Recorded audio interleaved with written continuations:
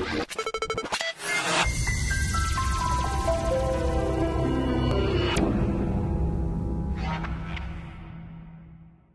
what's up guys? It's R Malayeri and today I have a new video for you.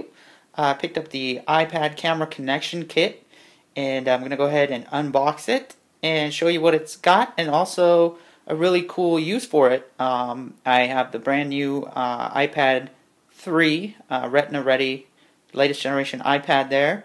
Uh, it has a beefed up camera so I'm going to be uh, using that a little bit more to shoot video and I figured uh, one of the coolest features of having an iPad is that you can use the uh, Blue Yeti microphone uh, through the camera connection kit to record your audio. So usually when I'm, well, always I'm using my iDevices to uh, record video, but until now I've been limited to using either the built-in mic or the iRig mic, um, which the iRig mic is great for a portable solution, but for home-based audio, um, you know, as you can see, obviously, there is no competition between the Blue Yeti uh, and the Rode Podcaster mic that I have uh, with the iRig. So right now this audio is on the iRig, but um, hopefully going forward when I'm shooting with the iPad 3, I'm going to be using either the Podcaster from Rode or the Blue Yeti. Now I know the Yeti has been confirmed to work with that camera connection kit, but I'm not sure about the Podcaster, so um, I'm going to give it a shot, and then uh, I'll let you guys know if I also get it working with the Podcaster.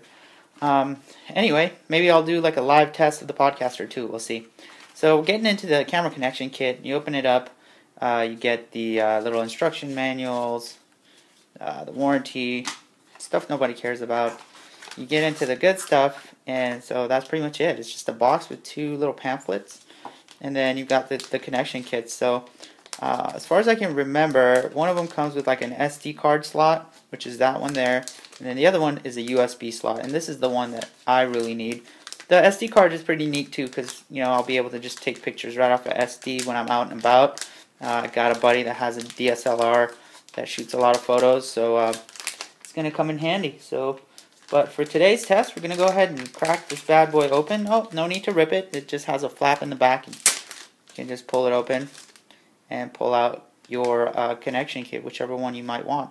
Again, 30 pin dock connector on this side, and then just a regular SD card reader on that side. I'll put that back in the bag since I'm not going to be using that right now. And then this is the star of the show. This is the one that I need. Go ahead and flip that open. And here we go. So we have here the USB portion of the um, iPad camera connection kit. Now this whole kit can be purchased for $29. Uh, I'll put a link uh, to where you can pick it up in the description if you'd like to check it out. But uh, yeah, that's all there is to it. So I should be able to just pop this off, connect it to the iPad's dock. It should be just simple and easy, just like that. And then we're going to go ahead and take the, um, the USB connection from the Yeti you can see that it has no power indicator. This will usually light up red if there was power. And all we have to do is just plug it in. Now there, um, and it should light up. Yep, you can see that it lit up there. And what does it say here? Cannot use device. The connected USB device requires too much power. Oh, okay. So sometimes, uh, because of the amount of draw of the Yeti, uh, you require uh, like a powered USB hub. Um, so I have one of those. I'm going to go ahead and plug it in and um, show you guys if we get that same message. Okay, so I'm going to go ahead and unplug it. Even though we are getting power here, uh, you can see on the Yeti that we are getting a red power indicator. But uh, I'm going to go ahead and plug in the hub and see what happens. Stick around. Hey guys, I'm back and I have everything figured out. So the Yeti was pulling too much power on its own and we need to get a USB, a powered USB hub to make everything work.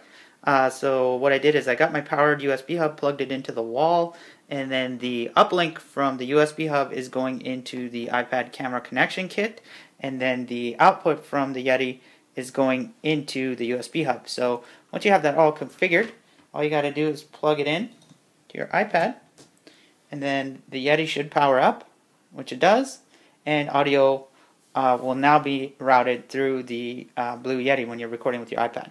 So, uh, pretty cool example. I'm going to show you how that looks and works out on the uh, Blue Fire app. This is an app uh, from Blue Microphones. Uh, it's called Blue Fire, and you can see that it's picking up audio from the Yeti. I'm going to tap on the Yeti so you can see. And then I'll tap on the uh, internal mic so you can see as well.